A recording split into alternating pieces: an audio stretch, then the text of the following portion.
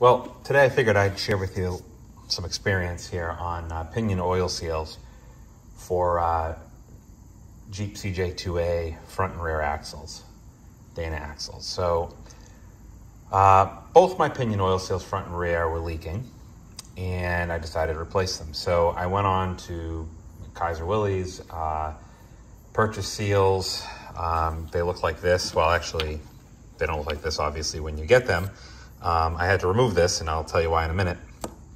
But the new seals, they supposedly work in the front and the rear axle, so, um, and they're pretty lightweight, actually. Um, they have this red around them, and uh, these seals, I forget what they cost, maybe $10, something like that.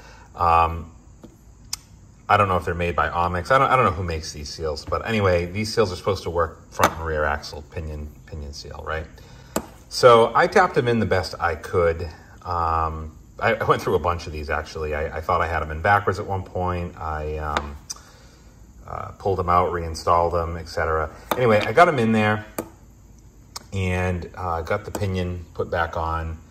So they just didn't feel like they fit right to me. The pinion uh, was feeling like it was dragging a little bit. I torqued everything down, you know, did, did everything I was supposed to do. And um, so I, I, pulled the pinion off and I noticed that uh, the pinion was rubbing against some of the rubber that's sticking out on these seals. And, you know, I went in and out with the pinion, things like that. Anyway, long story short, I said to myself, I don't know, these didn't look anything like the seals that actually came off the Jeep. So I started looking online, went on uh, eBay, and actually found a, uh, a, company selling seals that look like this. Um, very different looking than this. And these, these seals here are about two to almost three times the weight of these seals from, from Omix. So this new seal I got off of eBay, this uh, looks very similar, almost exactly identical to what I pulled out. So right, right then and there, and the lips are, uh, the rubber lip here was a little shallower than what this ended up being. And so anyway, long story short, um, I said, okay, uh, let me order these seals. So they were around the same price. I ordered four of them actually in case I, I made a mistake, just have some parts locally. Um, and I popped, popped this out. As you can see, I had to kind of rip it out, put these in place and uh, everything's smooth now. Pinion is, is riding perfectly, um, no issues. So I don't know, maybe I installed these wrong, maybe there's something I missed. So I, I don't want to talk poorly about these seals, but I, I, just don't, I don't know, maybe maybe someone can comment below, maybe maybe I did, some, maybe I did something wrong here, but uh, these did not work for me. And I went with these off of eBay and they worked great. One of the little tips, so my engine's been rebuilt and I just got it back.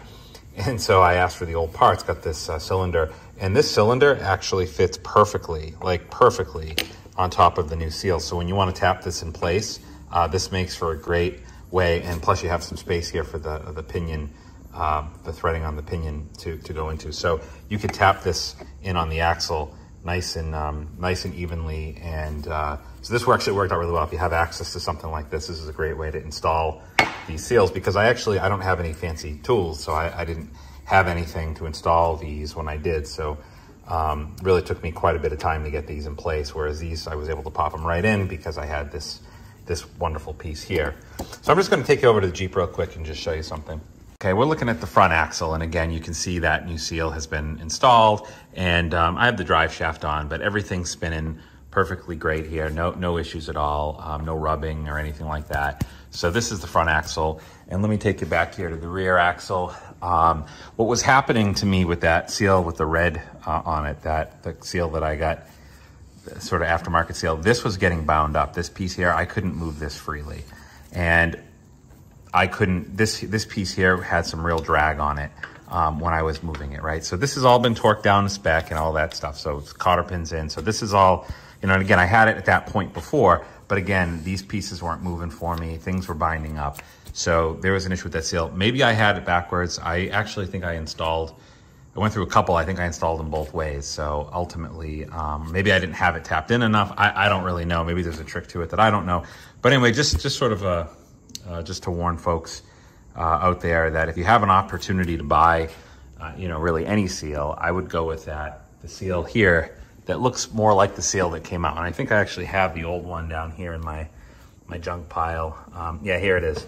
This one here, this is the, um, this is, I believe, the factory seal, or either that or a really old, you know, seal that was replaced a long time ago.